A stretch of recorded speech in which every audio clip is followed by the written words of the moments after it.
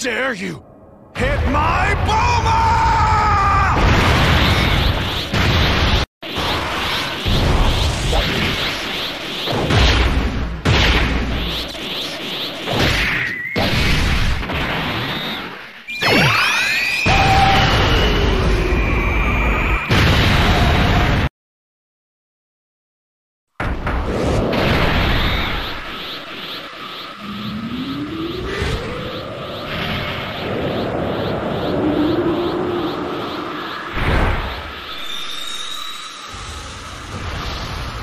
So this is a Super Saiyan God.